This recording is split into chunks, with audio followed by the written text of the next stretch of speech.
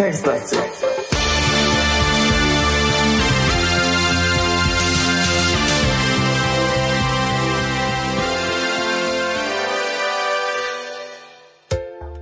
Äh, Guten Abend, liebe Freunde.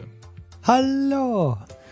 Falk und Simon präsentieren euch ganz stolz die neue Folge von Textlastik, äh, in denen wir durch das alte Japan reisen und Probleme lösen wollen. Müssen.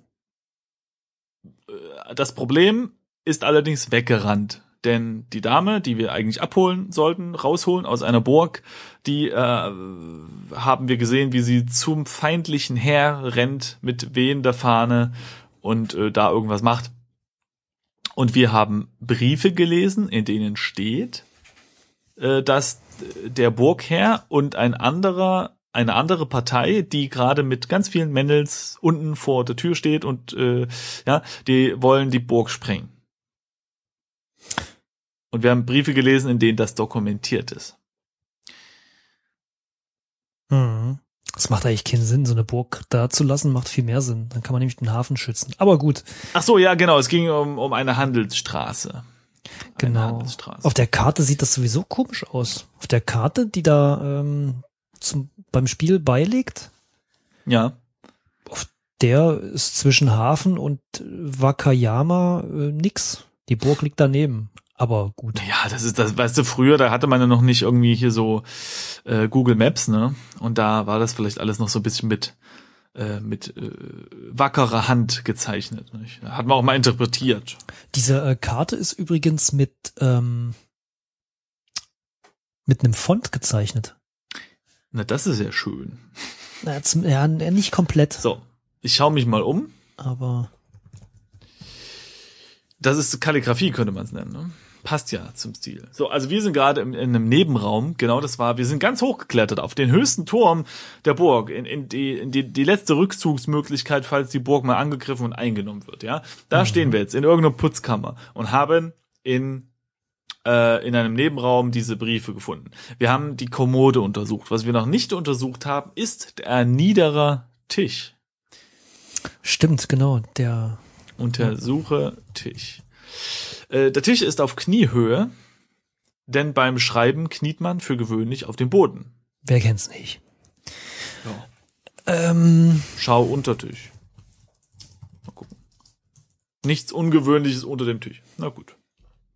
war jetzt eigentlich in dieser Kommode noch irgendwas oder haben wir alles? Untersuche Kommode. Äh, nee, äh, die Aussteuer ist da drin. Schau in Kommode, mache ich nochmal. Nee, nix Ungewöhnliches ist da drin. Okay, dann würde ich sagen, müssen wir eigentlich raus aus der Burg. Richtig? Raus aus der Burg, ja. Dann äh, leite uns mal den Weg. Mal gucken, was so passiert. Ach du liebe Zeit. Wir sind ja immer noch als Geisha verkleidet. Pff, ja, wollen wir das eigentlich mal sein lassen? Oder? Nö, das ist doch super. Ansonsten hält uns noch jemand auf. Das ist doch gut. Ah, er gut. hat recht. Okay, also wir müssen also jetzt erstmal nach Norden. Ja, raus. Äh, jetzt sind wir ja wieder bei der falschen Frau Midori. Oh, warte mal. Hm? Da steht was Neues. Ein starker Windstoß lässt das Turmfenster mit einem lauten Knall nach innen aufschlagen. Äh, was? Ja, wahrscheinlich so eine Art Äh, Fensterladen. Fensterladen oder sowas. Ja, gut, ich ja, mein, passiert halt, ne? wo, wollen wir das jetzt reparieren? Äh, wir können ja einen neuen falten. Hm, Ja, dann müssen wir aber unser Papier zurücklassen. Hm, ja, stimmt. Ja. Äh, Was hast, du, was hast du vorhin eigentlich gefaltet? Ach, ein Schlüssel, ne? Ja, aber das Hm. ja, hat er nicht so. Schau aus Fenster, guck ich mal. Ne? Ah, Der Blick bringt euch keine neuen Erkenntnisse. Na gut. Also, Das denke ich mir auch manchmal, wenn ich früh durch das gleiche Fenster wie immer gucke. Oh, wie immer. Tschüss. ja, aber jetzt, also, ne? Ja, nicht wahr. So, also, okay, dann müssen wir jetzt nach S runter. Nee, äh, runter, ja. Besser nicht. Nach dem Fiasko mit dem Tee ist wahrscheinlich die halbe Burg auf den Beinen auf der Suche nach euch. Die haben wohl keine anderen Probleme. Okay, dann müssen wir uns abseilen. Ja, guten Tag, also ich habe hier äh, einen Wasabi-Tee und ein Heer, was die Burg sprengen will. lasst uns nach dem Mann mit dem Wasabi-Tee suchen. Falte Schneebesen, weil ich hatte ja den Schlüssel nicht ge Was? ge gedingst. Schneebesen? Ach so. Zu Seil oder so. Das Wort Seil ist dieser Geschichte nicht notwendig. Äh, Leiter, wir machen eine Leiter draus. Ist doch Meinst klar. Nee, haben wir nicht. Ihr könnt keine Leiter falten, denn ihr habt es nicht gelernt. Pass auf, Kletter aus Fenster. Mache ich es auch mal. Ach, guck mal hier. Äh, ihr befindet euch doch in, äh, in ihr, ihr befindet euch in schwindelerregender Höhe auf dem oberen Dach des Burgturms, direkt vor dem Turmfenster.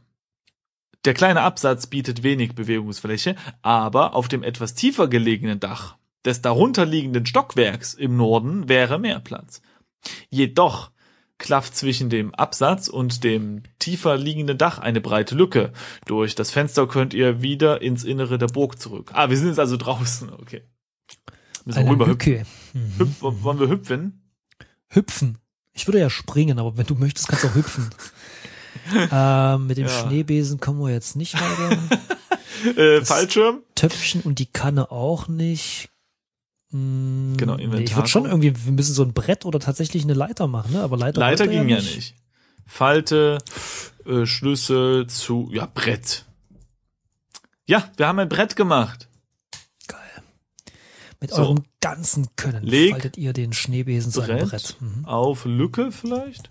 Auf Lücke. Aha, Das heißt der Typ von der AfD nicht es Lücke? funktioniert aber. Nee, Luca. Leg das Brett auf Lücke. Ja. Das sollte ausreichen, um sicher hinüberzukommen. Okay. Also, Ja. dann können wir jetzt nach Norden laufen. Nach Norden. Mhm. So. Unteres Dach.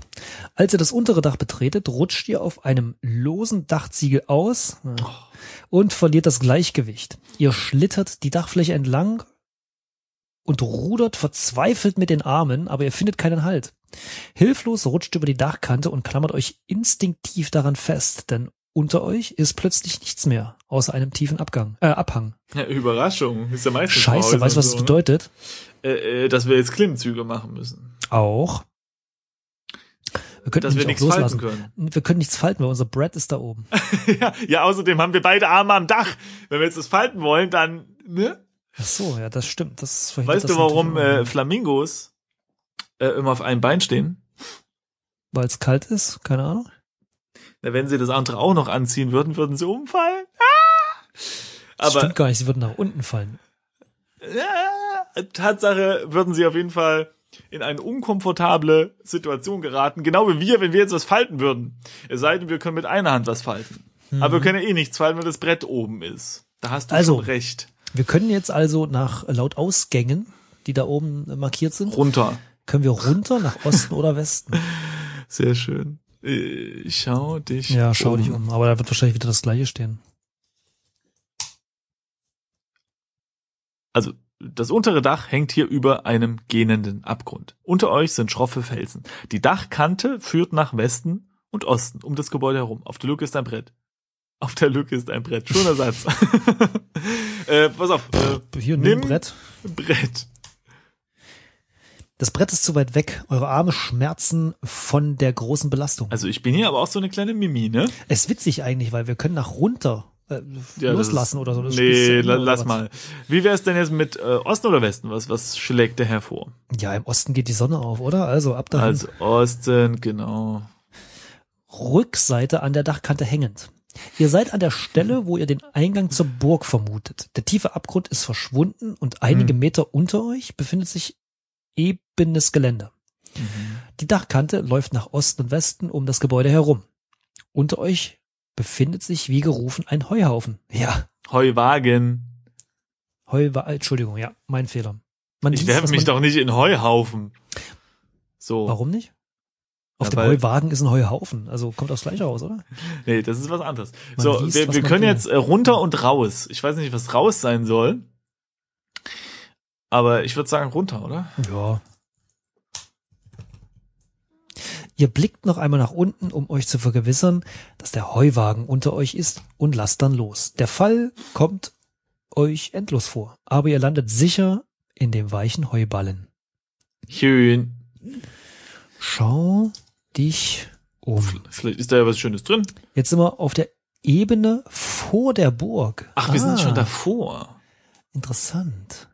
Aha. Ja, genau. Wenn ich auf der ersten Karte schaue, dann ist, äh, waren ja die, der Burghof, da äh, so eine Vorratskammer im Norden Ja, und im ja, Osten ja. die Ställe. Im Süden war die Wachstube, wo wir herkamen, ganz am Anfang. Und nach Westen, davor steht das Wort Ebene. Also sind wir tatsächlich auf der, ah ja, okay. mhm. Und auf der großen Karte mit, mit dem Hafen und so, da steht jetzt auch Ebene. Ja.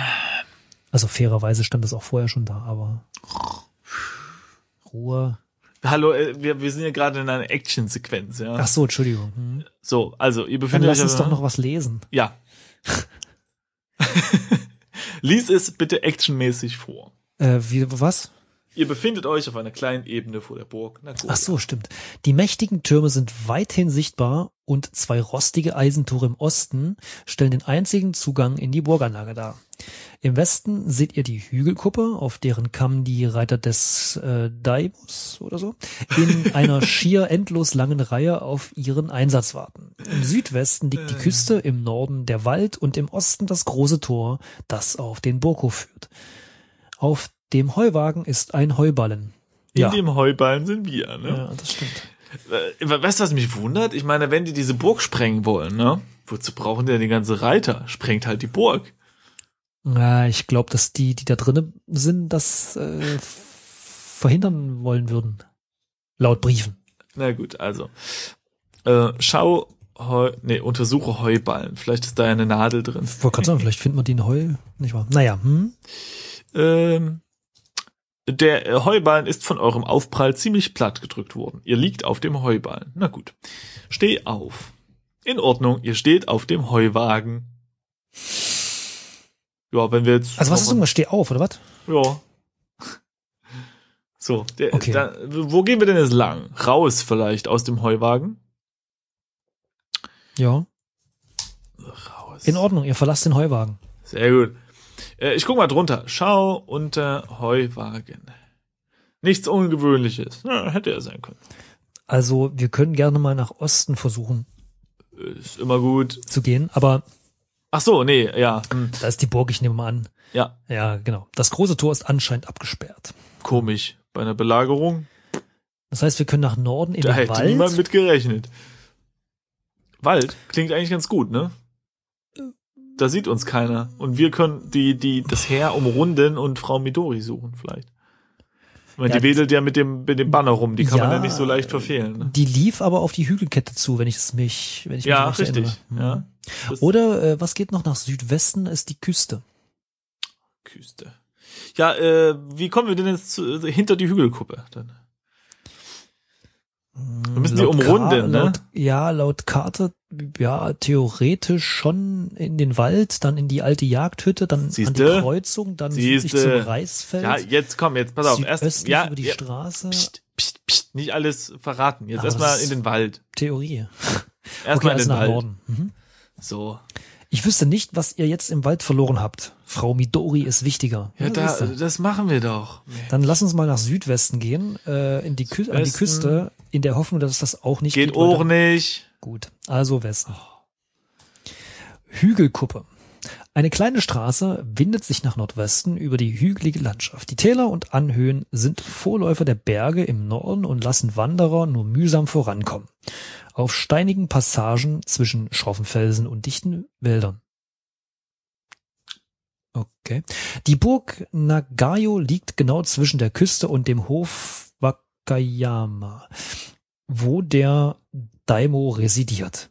Im Westen spitzt das Zelt des Daimos über den Kamm, Das spitzt, das ist schön. von schön. wo aus der Herrscher die Schlacht mit wachsamen Augen verfolgen wird. Ah ja. Einige Bogenschützen, einige Fußsoldaten und einige Reiter stehen hier. Ja. Äh, nimm Bogenschütze. nee, was machen wir denn jetzt Schönes? Äh, Hm. Also bestimmt ist die Dame unseres äh, Anliegens in dem Zelt vom Daimyo. Daimyo. Daimyo. Ja. Warte mal kurz, ich muss mal kurz. Die Burg Nagayo liegt genau zwischen Nagoya übrigens, ne? Was sag ich immer? Nagayo. Ja, die Burg halt. Ja, die Buchstaben sehen ja auch immer so ähnlich aus, ne? Die Burg Nagoya, Entschuldigung, ja, liegt genau zwischen der Küste, okay, ich vergleiche es mit dem Bild, ja, Ja. und dem Hof Wakayama. Boah, ja, bedingt.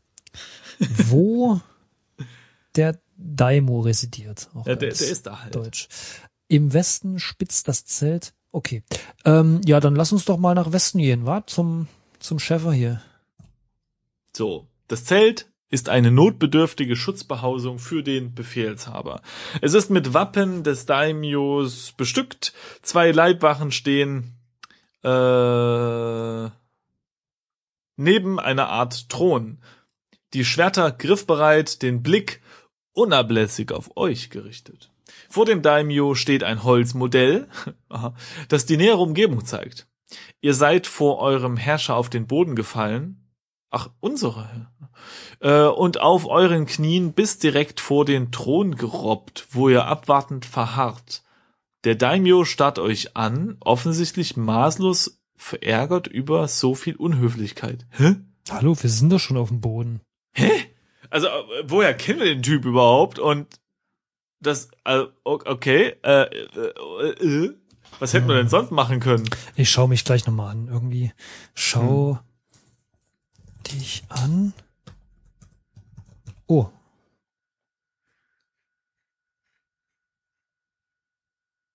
Hm, also, okay. Also, es steht der normale Text da, deine Beschreibung, warum du hier bist und so weiter und so fort. Ja. Ich wollte eigentlich bloß nochmal gucken, ob irgendwas mit dem Daimyo dasteht, aber es ist tatsächlich nur Tochter Herrn Yoshikatas. Egal. Aber unten drunter steht jetzt, hm, die Kriegermönche sollten besser weiter südlich in Stellung gebracht werden, murmelt der Daimo und rückt die Figuren auf dem Modell zurecht. Okay, also Das hier steht bei mir sprich- gar nicht da. Ja, es ist Na wahrscheinlich gut. wieder eins dieser. Sprich mit Daimyo. Auch hier, weit entfernt von dem höfischen Leben in Edo, ist eine gewisse Höflichkeit Grundlage eines erfolgreichen Gesprächs. Ehrenwertes Raubein. Ja, was nu? Soll ich ihn hauen oder was? Ne, erstmal ein Teechen vielleicht. Ach so. Ach, by the noch- way, ne? haben wir wir sind welche? immer noch als schlechte Geisha verkleidet. Ja, ist ja okay. Inventar. Ihr habt ein Schreiben, eine Essschale. Wir könnten Nattos anbieten. Ein Töpfchen, eine Kanne und ein Geheimniskästchen bei euch. Wie wär's Ihr denn habt mit- einen gemusterten Kimono und eine beschnittene Mähne angezogen. In dem Geheimniskästchen befindet sich ein Satz Schriftstücke. Ja, was? Na, wie wär's, wenn wir. Ach nee, die Schriftstücke bringen jetzt nichts, weil die hat Gib. er ja geschrieben. Essschale. Ich probier's einfach. An Daimyo. Nee? Äh, das ist auch nicht. Vielleicht verbeugt, verbeug dich. Ah ja, hier guck. Verbeugen geht. Wie kann man sich bitte auf dem Boden kniend verbeugen? Na, äh, Ihr verbeugt euch so tief es geht vor dem Daimyo. Ist das wirklich das richtige Wort? Daimyo? Naja. Und Daimyo. verharrt auf dem Boden. Schließlich bedeutet er euch mit einem kaum merklichen Winken, dass ihr wieder aufblicken dürft. Seine Miene hat sich etwas aufgehellt, aber er betrachtet euch nach wie vor kaum und richtet seine ganze Aufmerksamkeit auf das Modell und die Holzfiguren. äh, wie haben wir bitte gesehen, dass er gewinkt hat, wenn wir unseren, unser Gesicht in den Rasen drücken? Ähm, der Luftzug vielleicht. Beim Winken. Sehr gut. Er hat so intensiv äh, gewunken, dass, ähm, ja. Ja. Ja, toll, jetzt können wir, jetzt stehen wir und der schwätzt immer noch nicht mit uns. Das ist doch albern. Der olle Daimyo, Mensch. Sag mal. Was macht man jetzt? So, pass auf, ich habe jetzt hier mal, ähm, ich gucke jetzt gerade hier, jetzt mach das doch mal auf, äh, was eigentlich ein, ein Daimyo ist, ja. Äh, das wird im Deutschen oft als Fürst bezeichnet und das waren die lokalen Herrscher im feudalen Japan. So. Also schwätzt hier gerade ein Fürst zum anderen. Ja, das sind doch alles so eine gewisse Politiker halt, so. Jetzt, ja, haben wir uns verbeugt, wollen wir uns nochmal verbeugen oder was? Was ist denn los? Wir wollen wir vielleicht einfach gehen. Der Typ interessiert uns doch überhaupt nicht. Wir wollen die Frau. Ja, wir können aber nur nach Osten, obwohl zur Ost. ja, Oder, oder, oder pass auf, weißt du, wie wir seine Aufmerksamkeit kriegen? Wir schmeißen das blöde Holzmodell einfach mal um. Ja? Nimm Zack, Holzfiguren, ja. Weg. Nimm, Ja, nimm Holzfiguren. ja. Ihr solltet besser die Finger davon lassen, denn der Daimyo ist heute nicht zum Scherzen aufgelegt. Ja, wir Oh. auch nicht, hallo. Boah. Daimyo. Ja, weiß ich jetzt auch nicht. Was machen wir denn jetzt? Warte mal, ich spreche nochmal mit ihm. Sprich mit Daimi. Ach guck, jetzt kann man wenigstens mal mit ihm reden. Ach, kiege an. Ach guck. Entschuldigt, oh große Daimyo. Ist es, hast du da Lautschrift? Äh, spricht man das wirklich so aus? Ja, äh, ja, weiß ich jetzt auch nicht. Ich dachte, bei dir steht irgendwas mit, mit äh, Ja, da ist halt so ein Kringel überm O, aber was das bedeutet, weiß ich auch nicht. Achso. Also. Entschuldigt, o große Daimyo, sagt ihr, ich bin nur eine niedere Zofe äh, in Diensten der Mitsunarigis. Äh, dürfte ich trotzdem einen Moment euren wertvollen Zeit beanspruchen? nee, nicht, wenn du den Satz nicht hinkriegst. Aha, ich verstehe, antwortet er. Nun gut, ausnahmsweise. Ey, kann da jeder äh, Hans Wurst mit ein bisschen Schminke zum, Frau Wurst. zu, Fra zum Master of Design. Ja, okay. Wir sind weiblich verkleidet.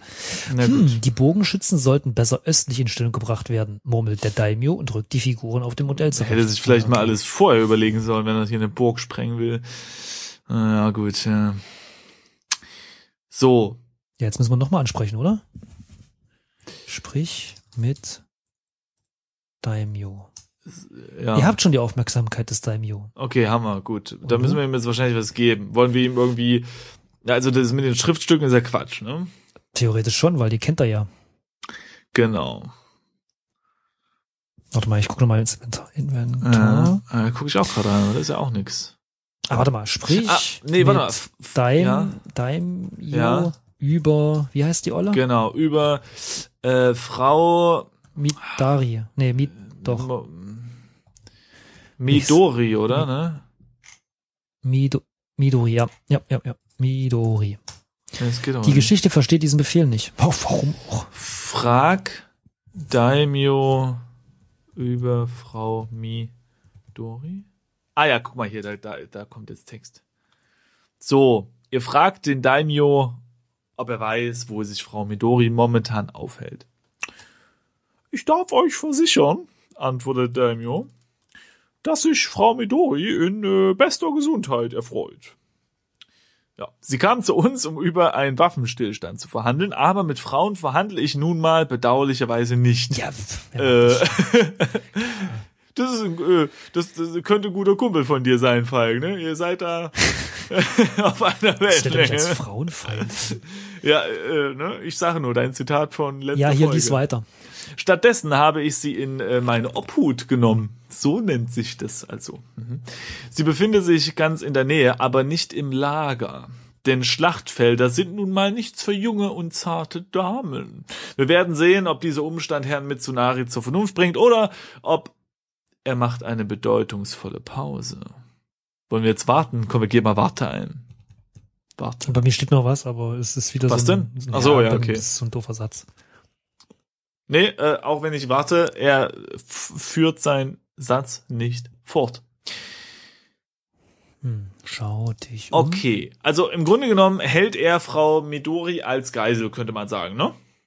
Also, er, und er hofft halt, dass dann der, der äh, Mitsu, Mitsunari sagt so, ach, äh, guck, jetzt haben, haben die meine Frau, dann, dann gehe ich doch aus der Burg raus. Hm, Was irgendwie auch keinen Sinn macht, warum, warum die dann freiwillig dahin gerannt ist, aber gut. Die ist also in der Nähe, ja. Vielleicht können wir jetzt in den Wald. Weil jetzt wissen wir ja, dass sie anscheinend. ja, nicht probieren wir es mal. ist, Gehen wir mal ne? nach Osten, wa? Ja, so. Und jetzt? Steht hier was Neues? Nee, ne? Nö, alles gut hier. Okay, jetzt alles kommen wir nach. Osten. Das wäre auf die Eben- Ebene ja, zurück. Ja, wir, ja. nach Vor der West, Burg. nach Westen zum Zelt oder nach Nordwesten zur Straße. Nee, nee, wir sind nicht, nicht vor der Burg. Wir sind auf der Hügelkette. Zur Burg geht's zwar nach Osten, aber dazwischen ist die Ebene. Ja, Da, okay, wo also ich bin jetzt auf der Ebene. Willst du in den Wald, ne? Ja. Okay. Okay, dann jetzt von hier aus nach Norden. Dann- Ah, jetzt geht's tatsächlich. Ah, Mitten ja. im Wald ist es schattig und kühl. Die Bäume stehen dicht an dicht und das Dämmerlicht erschwert die Orientierung. Im Hm. Wald ist die Gefahr, sich zu verlaufen, zu groß, also bleibt euch nur der Weg nach Süden, Nordwesten oder Nordosten. Okay. Okay. Ja, gut. Also ich kann jetzt gerade auf der Karte nicht mehr wirklich nachfolgen, wo wir, also wieso Nordosten? Also Süden geht's zur Ebene zurück, Nordwesten zur Jagdhütte, aber Nordosten kann ich nicht nachvollziehen. Nicht. Nö. Dann würde ich sagen, gehen wir doch erstmal zur Jagdhütte, oder? Ja, okay. Was ist das? Nordwesten. Nordwesten. Also theoretisch. Okay, da steht nochmal Wald. Okay, alles klar. Ist wahrscheinlich so ein, ähm, Mitten im Wald ist es schattig und kühl. Der Wind weht kälter und wirft die Blätter hin und her. Die Nacht verspricht eiskalt zu werden und das Dämmerlicht erschwert die Orientierung. Ja. Ein Flecken Moos bedeckt hier den Waldboden. mhm. Steht bei mir. Warte mal. Untersuche Moos. Vielleicht ist da ja was drin. Das Moos ist weich und feucht und es sind Fußabdrücke darin zu erkennen, als ob hier kürzlich jemand vorbeigekommen wäre. Nein, Oh. untersuche Fußabdrücke. Wenn ihr es richtig interpretiert, waren es drei Personen, die nebeneinander gegangen sind. Vielleicht zwei Wachen, die eine Gefangene in ihrer Mitte abführten. Nein! Ich würde sagen, wir gehen weiter nach Nordwesten. Das war ein sechsbeiniges Getier. Nordwesten, ja. Leise Geräusche dringen an euer Ohr. Vögel oder menschliche Stimmen. Ihr könnt es nicht sicher sagen und das Dämmerlicht erschwert die Orientierung. Ja, dann weiter, oder? Also. Mm, Ja, wir können jetzt nach, Ach so. naja, Nord, nee, nach Westen können wir jetzt. Wir können nicht mehr nach. Nordosten. Äh, Gehen wir Nordwesten. Westen, ne? Westen Ja. Kreuzung. Ui. Der Weg gabelt sich hier in verschiedene Richtungen. Im Norden liegt zwei Tagesreisen entfernt der Hof Wakayama. Mhm. Ah, okay, jetzt sind wir da. Okay, ich verstehe. Und im Osten führt der Weg in einen dichten Wald. Im Süden könnt ihr wegen der vielen Hügel kaum etwas erkennen. Doch euer Orient- Orientierungssinn, der euch bislang nur selten im Stich gelassen hat, sagt euch, dass irgendwo hinter den Hügeln die Burg Nagoya liegen muss. Da kommen wir ja gerade her. Ja, das heißt, okay, das ist also ein Rätsel, wie man zur alten Jagdhütte kommt. Aber wir waren scheinbar äh, laut des Moses, ähm, Ja, das war gut, ne? also des Gewächses, nicht des der Person.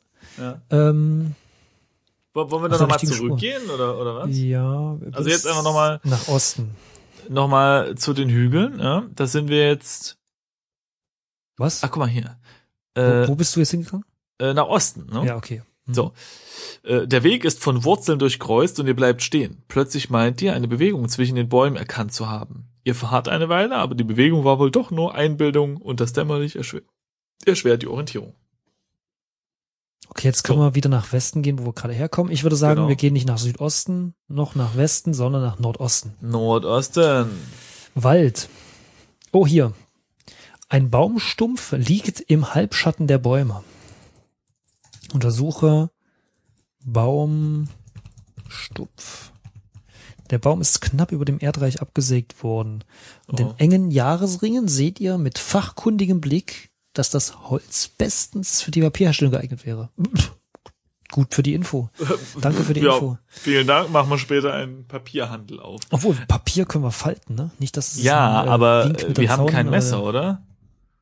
Ja, selbst wenn, könnten wir so auf die Schnelle kein Papier herstellen aus, aus Holz. Okay. Ganz, ganz dünn abschneiden. Wir können jetzt weiter nach Nordosten oder in den Südwesten, wo wir herkommen. Ich würde sagen, wir gehen nach Nordosten. Mhm. Wald. Mit jedem Schritt fällt es euch schwerer zu sagen, wie lange ihr schon in diesem Wald seid, in diesem Wald seid. Vermutlich länger als gut ist. Die Bäume scheinen euch mahnende Worte zuzuflüstern und das Dämmerlicht erschwert die Orientierung. Ja gut. Jetzt können wir nach Südwesten und Südosten gehen. Ja, Südosten. Wir gehen einfach noch ein Weichen. Ja, ja. Irgendwo kommen wir raus. Ja. Hier, guck mal da, steht ein Findling.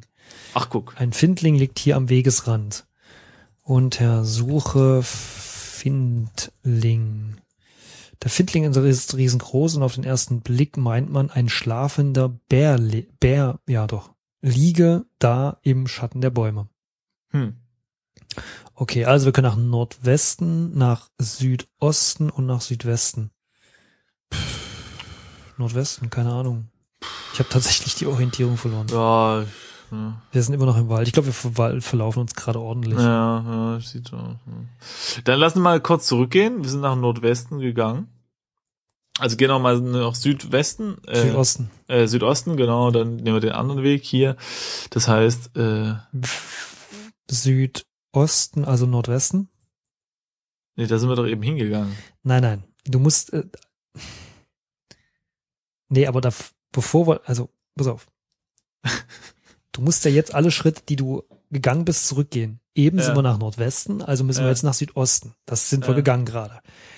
Bevor wir nach Nordwesten gegangen sind, vorhin, ja, was wir gerade revidiert haben, sind wir nach Südosten gegangen. Südosten. Also müssen wir jetzt Ja. nach Nordwesten. ja wenn du das sagst.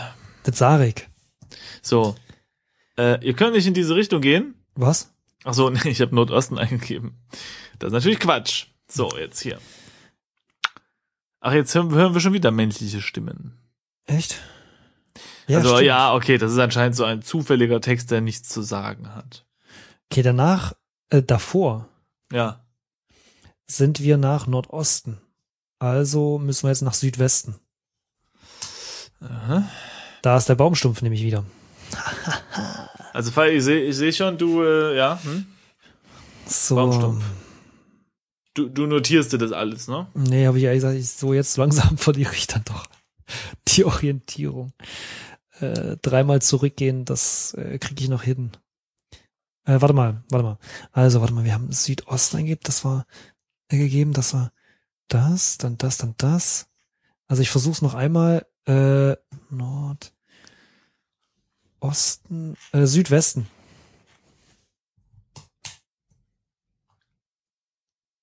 Und jetzt Westen. Yay, wir sind in der Kreuzung. Ich hab's geschafft. Äh, ja, aber da waren wir doch vorhin schon. Ja, aber über die Kreuzung kommen wir über das Reisfeld und die Straße zur Hügelkette, ohne dass wir durch den Wald müssen. Aha, na dann. Verstehe ich. Also wir gehen jetzt nach Süden. Aha, Süden. Reisfeld. Die Straße verläuft hier an einem Hang, der für den Reisanbau genutzt wird. Die Reisfelder staffeln sich in Terrassen den Hang hinauf und bilden eine grüne Oase in der steinigen und unwirtlichen Umwelt. Umgebung, Entschuldigung. Im Norden seht ihr eine Kreuzung und im Südosten für die Straße in hügeliges Terrain. Zahlreiche Bauern sind gekommen, um die Reispflanzen zu ernten. Ach, das ist ja nett. Ich würde sagen, wir gehen weiter nach Südosten. Mhm. Straße. Eine kleine holprige Landstraße macht hier einen Bogen von Südosten nach Norden. Sie ist nicht breiter als ein Heuwagen und verdient den Namen kaum, denn das lose Geröll macht jeden Schritt zur Qual. Ihr fragt euch, welcher Umbauaufwand wohl nötig ist, damit die schwere Warenlieferung zum Hof Wakayama im Norden über dieses Armutszeugnis transportiert werden kann. Eine Frau zieht einen schweren Wagen die Straße entlang, als plötzlich der Belag nach, ach du liebe Zeit, als plötzlich der Belag nachgibt und der Wagen in den Straßengraben rutscht. Die Frau stemmt sich verzweifelt dagegen, kann den Wagen aber nicht aufhalten. Der Wagen bewegt sich kein Stück mehr, so sehr die Frau auch zieht und zerrt. Schließlich gibt sie auf und sinkt am Straßenrand zu Boden. Ja, du, da kann man nichts machen. Ne? Gehen wir weiter, gell? nee, sprich mit Frau. Vielleicht ist das ja Frau Midori. Sehr wahrscheinlich. Sie sitzt in sich zusammengesunken da und reagiert nicht, so sehr ihr auch versucht, die Aufmerksamkeit der Frau zu erlangen. Ah ja, Du, nicht. wir haben unser Möglichstes Ja, getan, also, ja. Da kann uns noch, keine, keine Vorurteile machen. rufen gleich noch 112 an und dann machen wir uns Genau. weiter. Ich würde sagen, wir, wir machen uns, äh, wir setzen uns dazu, ja, und machen uns so ein paar Gedanken, wie wir die Frau zum Reden bringen. Aber äh, was da rauskommt, das äh, erfahrt ihr, liebe Zuhörer, dann in der nächsten Folge. Denn diese Folge ist vorbei. Gehen Sie weiter, es gibt nichts zu hören. Es gibt nichts zu hören. Bis zum nächsten Mal. Tschüssi. Tschüss.